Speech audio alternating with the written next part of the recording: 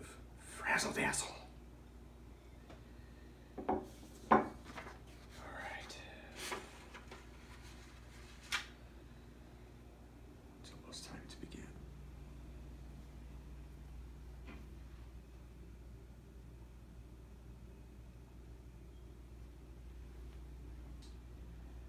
Um. Um. Um. Womp. Dad, what the heck are you doing? I'm, I'm sacrificing my happiness The heck are you doing that? because that's what you're supposed to do. You sacrifice your happiness to make other people happy for family, for society, for culture, your jobs, just everybody in general. You do what everybody says you should do so they're happy. So you have to be miserable so other people are happy. That's what you do. Oh, by the way, you're going to be doing this too. Why am I going to be doing this? because that's what you do. I just said you sacrifice your happiness. You got to follow the same patterns and the same generational cycles that I follow, that everybody else follows. You got to sacrifice your happiness. And by the way, you got to sacrifice your happiness to make me happy. Um, that's a whole lot of nope. I'm not responsible for anybody's happiness but my own. I create my own happiness. I do things that make me happy. Maybe it'd be a good idea for you to do the same, Dad? But you're responsible for my happiness. I'm out. But no! You got to make me happy! Yeah, right. Hey, it's Tony freaking Fonte. How you doing? I hope you enjoyed that video, that message that we cooked up for you. I'm going to share a little story behind that. If you haven't realized this by now, that the messages that I bring, the videos, even when they're fun, um, actually they're all fun now, but even when I bring those messages to you and I bring those funny videos to you, there's a story behind those. Story behind where that originated from, where that message came from, and they're personal to me. It's either something that I'm currently walking through or something that I have already walked through and now I'm sharing it. And it's through the processes and the tools that I that I have and possess and me being connected with my myself and my higher self to be able to do what I do and to be able to bring up these old stories, to bring up these old pains and these belief patterns and, and limiting beliefs that had been hiding dormant in my subconscious mind. And that's what we all do. We have all have these stories and these beliefs that are laying, they're not dormant though, they're laying down, they're repressed and suppressed and pushed away because we don't want to deal with it for many reasons. Um, and I use the tools I do to bring that up so I can heal from that, so I can create more freedom in life. So I'm going to share with you a story on where this originated from. Then I'm going to give you an opportunity, some activities to implement in your own life to increase and shift your awareness so that you can see possibly where you are doing the same exact same things in your life or similar things that are sacrificing your happiness eh, or potentially sacrificing your happiness because these things can come up and they seem so subtle or they seem like they're so minuscule but they're actually wreaking havoc, havoc on our lives and preventing us from showing up the best we can for our daughters and for the for the world itself and doing what we are fulfilled to do and, and, and really being in our element. So I'm going to share with you those activities as well. So let's just dive right into the story. Sacrificing your happiness. And this is something that I've been working through for the last two months. Yes, it is that deep and there's that much going on. And I've been walking through trying to figure out uh, my, um, sacrificing happiness. And I realized that as I become more and more of who I really am, and as I step into who I really am and my true identity, the more I stop trying to fit in. Whether that's with family, whether that's with society or culture or religion. And what the newest thing has come is even as what coaches are typically doing in the industry. And I stand out to make my own mark, to show up powerfully. And yes, this gets me a little emotional. My ego says, don't do that.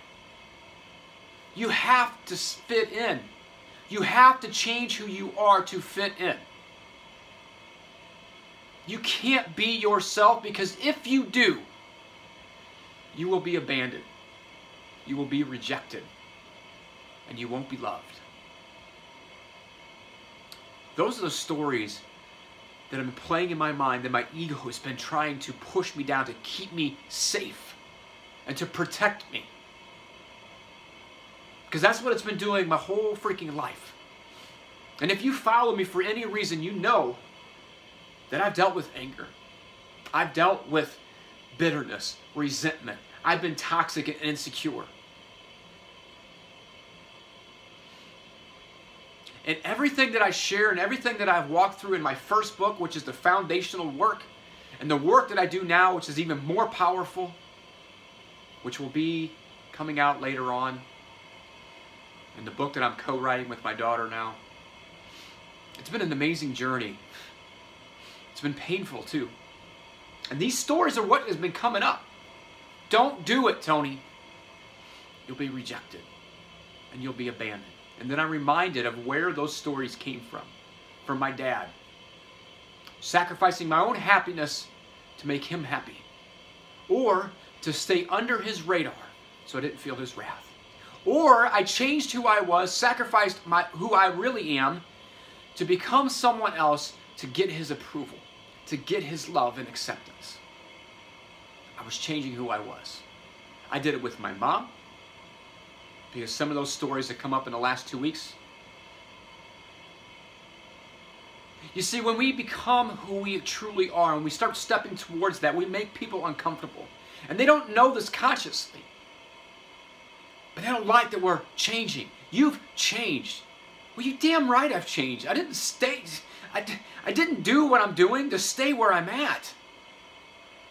We make them uncomfortable because when we make when we start growing and we raise our energy and our vibration and we start stepping into who we really are, what it's doing is bringing up the pain that's deep inside them. I did this with my brother. I did this with friends. I did this with peers, trying to fit in, to be accepted and loved. I had, my belief was I had to change who I was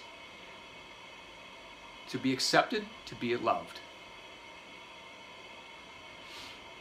And now, as I'm really stepping into who I really am, as I bring up the Tony freaking Fonte show, as I start stepping into my gifts of bringing that unique shift of taking laughter and having fun with a serious situation, and bringing my style of healing and freedom, my ego reminds me, Tony, don't. You're going to be all alone. No one's going to love you. You're going to be rejected. Which are all lies, by the way. It's all bullshit.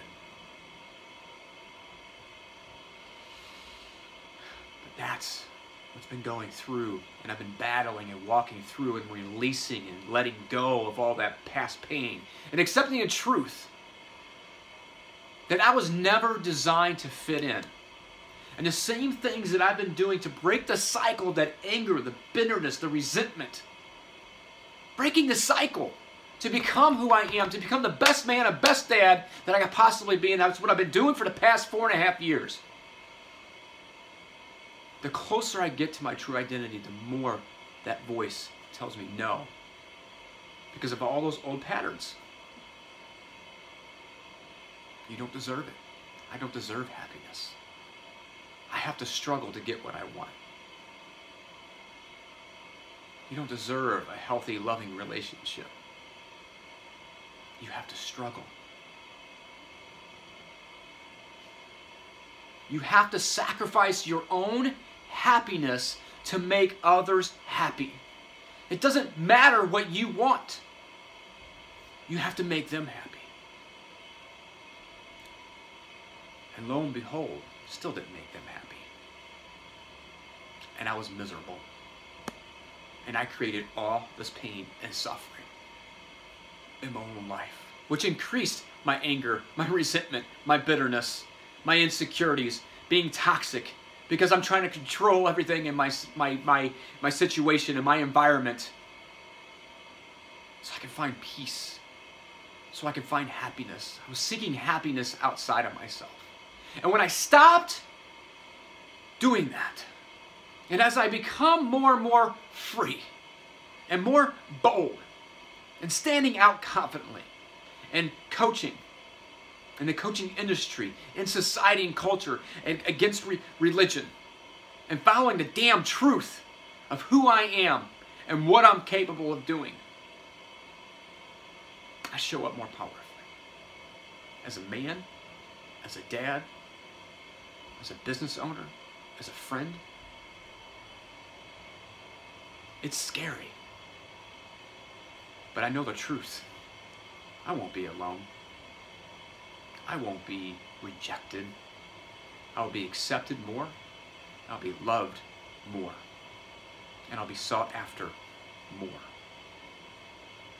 To share these messages, to share the energy that only I can bring. But that's what I've done my whole life sacrificing my own happiness.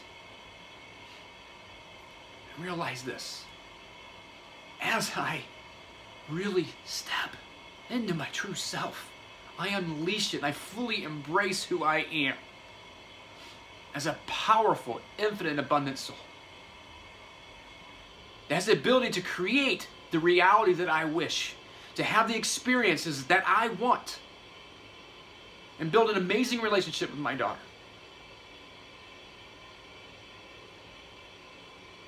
I break free. But the ego wants to hold on. It says no. And I release that because I faced the resistance. And because I faced the resistance, I embrace the pain. I create more freedom. You can't make anybody else happy. The truth is, is you find your own happiness on the inside. You work on yourself. You focus on yourself. And because you do that, you show up more powerfully.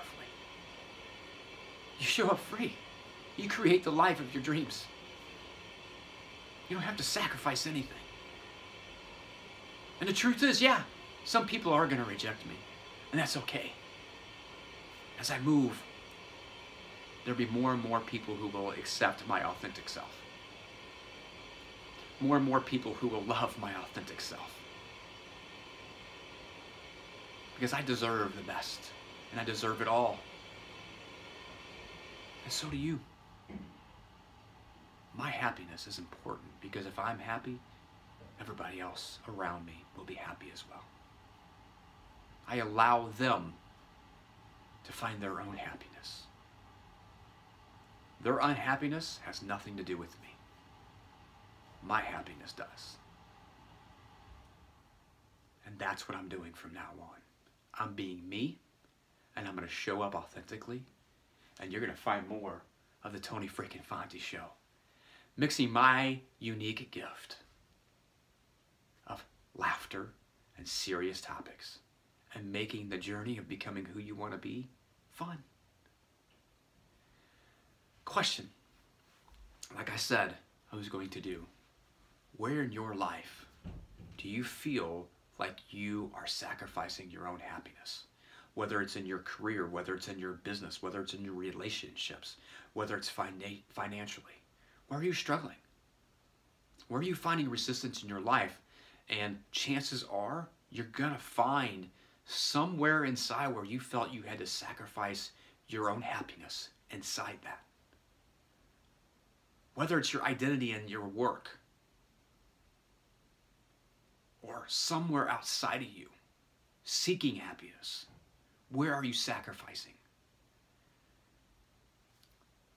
Once you determine that answer, and it could take some time, because it's going to be some great, deep inner reflection, then ask where that comes from whether that's back in childhood, which most of that's where it's going to come from, whether it's something you believed in childhood, whether it's true or not, it doesn't matter, it's true to you. Look within and see where you are sacrificing happiness.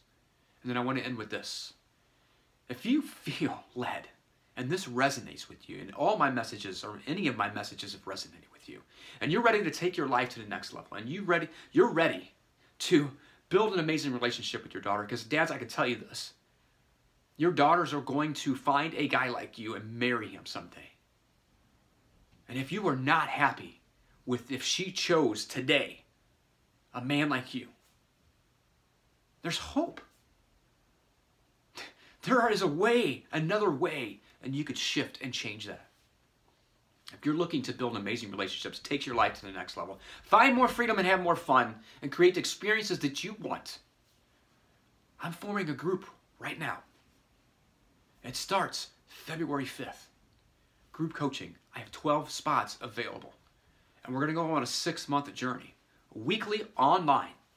It's online conference, video conference. So you can do from the comfort of your home or your office or wherever that you can stay committed and have your complete attention in that moment. We're going on a journey together. There's dynamic in group coaching. There's a huge dynamic inside that. And I absolutely love pouring in to people. So if you're ready to have freedom in your life, if you're ready to break the damn cycle and live the life you've always been dreaming, create the memories that you want, that you choose, and build an amazing relationship with not only your daughter, but those that matter most. Reach out. See if group coaching is a fit for you. Yes, you have to apply. Because not everybody's a good fit. I'm not a good fit for everybody, I promise you that. Not everybody likes my style, and not everybody's a good fit for me. And we have to make sure it's a win win for everybody. If not, I will direct you in the right position, the right path to do so. I'm Tony freaking Fonte. I'll bring healing and freedom through laughter. I make the journey of living the life of your dreams and creating the man you want to be fun. Reach out this resonates with you and you're ready. Talk to you soon. Tony freaking Fonte.